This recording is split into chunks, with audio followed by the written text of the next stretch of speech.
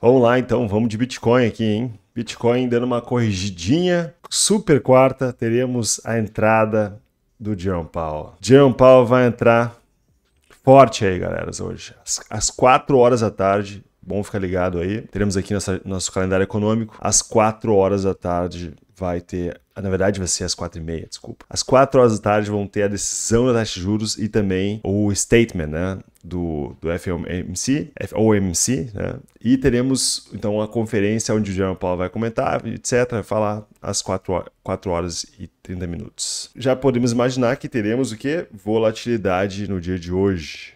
Tá? Então, muito cuidado aí com os trades hoje, galerinhas, tá? Botem aí seus topzinhos, tá? É, maneira alavancagem, vê o que dá para poder ficar um pouco mais tranquilo aí, porque hoje o dia vai pegar, tá? Deve pegar aí com, com a divulgação da, do statement, deve ser interessante e às quatro e meia com o Jerome Powell é o, quando o bicho vai pegar aí, de fato. Tá, vou comentar pra vocês sobre isso também, a gente vai falar sobre os mercados tradicionais também, sobre a Nasdaq, vamos falar sobre hoje Nasdaq, SP500, DXY, um pouquinho, dar uma repassada aqui que tá acontecendo, tem coisas importantes a meu ver. A gente tá cada vez mais próximo aí, né, de chegar numa decisão de corte de juros, que acredito não vai ser hoje. Na minha opinião, essa decisão pode gerar um topinho importante no mercado, tá? Então, caras, não se esqueçam aí, ó, se você ainda não tá deixando o likezinho no canal, é muito importante que você vá deixar o likezinho aqui no canal, porque isso me ajuda, apoia aqui a fazer cada vez mais conteúdos, tá? Então, vai embaixo do vídeo aqui, ó, aperta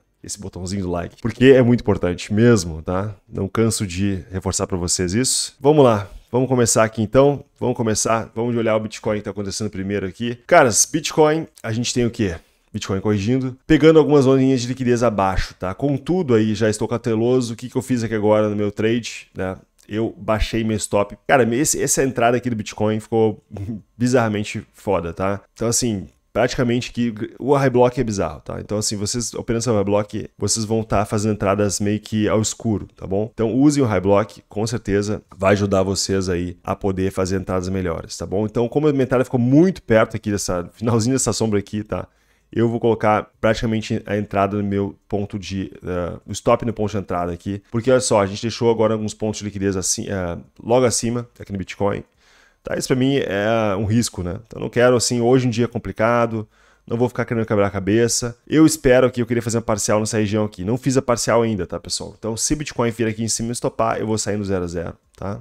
Vou pagar algumas taxinhas e tal. O que se ele pegar aqui nessa região dos 41.300, o André Fauci vai botar uma grana no bolso, tá? E daí é isso, tá? É isso que eu tô fazendo aqui agora. Então, é um dia complicado, mas eu tô aqui acreditando que o Bitcoin, caso ele me stope aqui, pessoal, provavelmente eu potencialmente poderia buscar aqui uma entrada de short aqui na região dos 45.500, tá? Então vamos ver como vai ser o dia de hoje. É uma possibilidade de Bitcoin segurar aqui e voltar a subir, pegar essa região dos 45.500, tá? Então, o que eu tento fazer aqui é montar uma posição Tá? Vamos ver se essa posição consigo ser montada. Se eu pegar aqui essa região dos, né, do 41.300, vou manter esse short aí aberto, né? E, e, é isso. Compras Bitcoin, vou estar de olho comprar mais aqui abaixo, tá, pessoal? Então, compras, eu quero ver pro Bitcoin uma porrada aqui, um volume forte para fazer uma compra legal, tá? Então, essa compra poderia ser algo assim, né? Então a gente veio aqui buscar e eu compraria algo aqui assim, tá? Então estou aguardando esse movimento fazer a compra, porque daí sim, a gente tendo um volume muito forte por aqui, pessoal, daí eu vou ficar de olho de fato numa região de 68 aqui. Vou pegar uma região de 68 aqui, ó, Fibonacci, e daí sim eu vou tentar fazer um, um baita de um long aqui assim, tá? Então eu não consegui fazer esse long aqui, nessa região de baixo, não consegui fazer esse long como eu gostaria, vou tentar fazer mais aqui embaixo. Então assim, eu tô operando aqui, pessoal, tô operando o mercado, surfando liquidez, fazendo esse tipo de coisa, tá? Porque só tem duas coisas no mercado. Ou você opera junto com a liquidez, ou você é a liquidez. então a gente não pode ser liquidez, né, pessoal? A gente tem que usar a liquidez a nosso favor, tá? Então, é o que eu tô esperando fazer com o Bitcoin aqui. Ethereum é a mesma coisa, tá? Vamos ver se a Ethereum dá a oportunidade de buscar a região ali abaixo de 2100, 2100 por ali, desculpa. Seria uma excelente compra na Ethereum. Tô de olho nisso aqui agora. Então, continuando aqui no Bitcoin, caras, vamos passar aqui os pontos, pontos importantes que estão acontecendo aqui no curto prazo. Indicadores de sentimento aqui no Bitcoin. A gente tem o preço é, do Bitcoin corrigindo. Tivemos quedas do Open Interest. Né? Aqui, aqui nesse momento tivemos, inclusive, o preço caindo com o Open Interest não caindo tanto. Então, assim, não foi grandes quedas que no Open Interest a gente pode cair mais, tá? Na minha opinião. Inclusive aqui o pessoal entrando em long aqui no curto prazo, né? Então, para mim, o sentimento não parece muito bom. Então, acho que esse shortzinho aí vai dar bom por enquanto, estou acreditando nele, tá? Mas não fiz parcial, vou deixar fazer parcial abaixo ali, tá? Na região aqui próxima dos, nesses últimos fundos aqui. Acredito que vai ter uma, uma galerinha que vai ser estopada aqui nessas regiões aqui, tá, pessoal? Então aqui que eu tô de olho para poder realizar, junto com o Smart Money, pegar aqui os tops, né, pontos de liquidez dessa galera aqui. Por quê? porque a gente tem, conforme você vocês no High Block, né? não só High Block, também tem aqui nosso, esse indicador também interessante, aqui do CoinGlass, ó, aqui, ó, liquidez aqui, aqui embaixo. A gente pode ver também High Block também, liquidez aqui nessas regiões, 41,300, tá? Ponto bom ponto para parcial. Uh, a gente pode também ver esse indicador aqui do Liquidation Levels. Olha só como a gente tem bastante níveis de liquidação aqui embaixo, ó. Essas regiões aqui de 41,600 para baixo, até aqui os 41 e 200. Então, nessas zonas que eu vou tentar fazer uma boa parcial aí, e daí eu monto essa posição gratuita já com lucro, tá? Então, a minha estratégia é sempre isso, sempre fazer isso no mercado, tá? Então, é isso, caras. Compras no Bitcoin, tentando fazer mais abaixo. Eu acho que Bitcoin é para a gente fazer um topo aí, possível topo do mercado confirmado, seria, eu acredito que potencialmente lá para o março, tá? Eu acho que a gente vai lateralizar em relação ao Bitcoin aqui, vamos ficar lateralizando um tempo mais, tá? Então, para mim, se ele vier aqui embaixo, ó, nessas regiões embaixo, se ele vier aqui, der uma porradinha aqui, eu vou tentar fazer uma compra de novo, e daí ele pode voltar a testar aqui em cima mais, voltar, dar uma bliscada. Eu acho que a gente vai ficar aqui numa lateralização chatinha, tá? Não tô esperando decisão grande do Bitcoin nesse momento, tá bom? Até março, até a gente ter de fato uma decisão aí da um pivô do Fed, né, ou seja, corte da taxa de juros, que potencialmente, olhando aqui o CME Group, a gente pode ver que a probabilidade disso acontecer é por volta aqui, ó, de março tem chance de acontecer. A princípio, já temos aqui 50% de chance de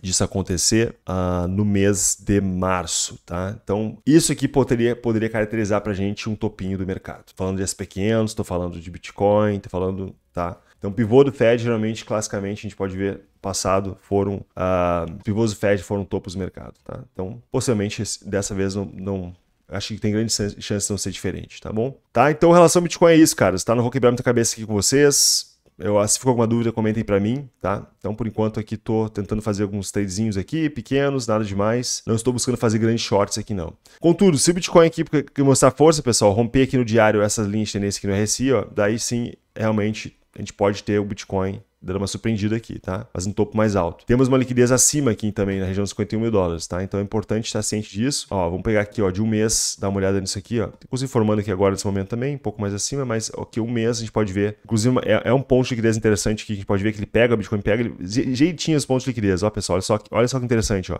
Liquidez buscada aqui, ó liquidez buscada aqui nessa região. Olha que amarelinho, o amarelinho onde ele vai ali, ó. Amarelinho também aqui. Ah, então tem o amarelinho aqui em cima também, nessa região que me preocupa, ali nos 54.200, ó. E temos regiões amarelas aqui em cima de 51 mil dólares e também embaixo aqui até a zona dos 34 mil dólares, tá? Então tá um pouco indeciso, não tá muito claro aqui uh, o que que o Bitcoin vai fazer, tá? Então, por enquanto, aqui estou tentando fazer alguns trades aqui nessas regiões, tentando me posicionar, mas acredito que março com decisão de taxa de juros aí, com corte de taxa de juros, a gente teria então o topo do mercado. Beleza? Então acho que em relação ao Bitcoin que eu falei para vocês é tudo que eu tenho para falar para vocês é isso, tá? Vamos olhar aqui então nossa dominância que deu uma, uma corrigida, mas já voltou a subir. Dominância interessante. Vamos ver o Ethereum BTC que deu uma pumpadinha, Ethereum BTC. Camila e Bunny tá preocupada com o Ethereum BTC. Aí, ó, deu uma pumpada, segurou nessas regiões aqui agora. Ainda tá uma região que eu considero safe aqui, tá, pessoal? Esse volumezinho que eu não queria ver o Ethereum BTC perdendo aqui, ó, essa região aqui, ó, exatamente nesse volume. Tem mais volume aqui no curto prazo, ó, nessa região aqui, inclusive, ó, já que vai PVR, ó, nessa zoninha aqui, eu não queria ver o Ethereum BTC perder. A gente tem mais volume aqui em negociação, seria potencialmente a POC desse, dessa, dessa região aqui, tá? Então, para mim,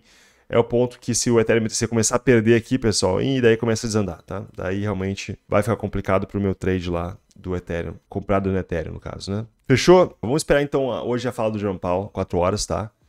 4 e, meia. Uh, não vou estar live aqui no YouTube, mas eu vou acompanhar de perto. E dependendo da movimentação do que acontecer, do que ele falar, eu posso fazer uma live depois, tá bom?